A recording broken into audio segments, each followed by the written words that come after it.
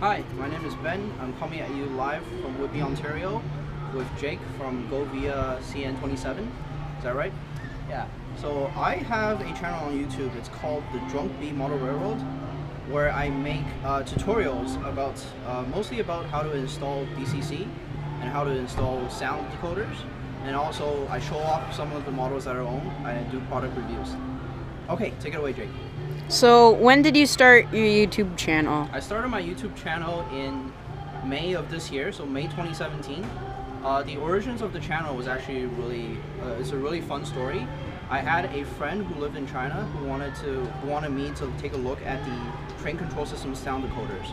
So my first video was actually a tutorial on how to program the TCS controllers, uh, the TCS decoders, sorry, and it was done in Chinese because he didn't understand English.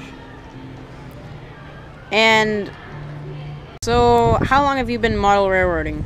Uh, I first started when I was around nine years old. My mom bought me a, I think it was a Bachmann train set for my birthday, and then I had that for a couple of years. And then you know when I got to like around middle school, when I started making my own money, I started like buying more uh, trains for myself. Uh, I was into N scale for a long time because at one point uh, I was trying to hide the trains from my parents.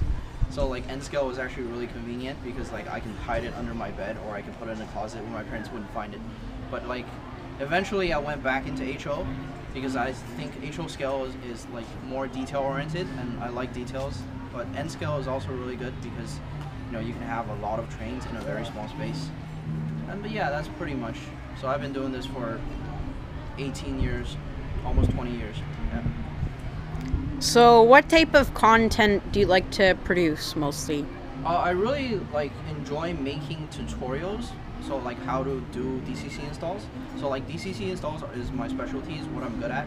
I'm not really good at painting or weathering. I like making tutorials because I believe that I can put my own insight into a video as compared to like just a product overview where you you know take this train out of the box and then you just tell the camera about what it is. I think that's not as interesting. Whereas you do something yourself, you do your own planning, and then you you get to solve problems on how to like, for example, install the DCC decoder.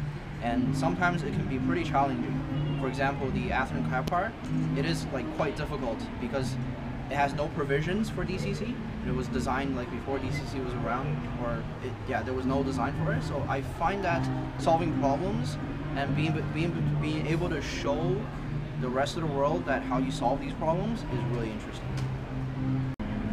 Yeah, so on today, September 30th, and tomorrow, October 1st, Sunday, uh, if you go to the fairgrounds in Brampton, um, it's just north of Brampton. Uh, you can Google the address if you want, but like we have the biggest train show in Southern Ontario that's happening this weekend. It's called the Greater Toronto slash Brampton Model Railroad Show. So yeah, come out and maybe you'll get to meet me. I'll be there tomorrow.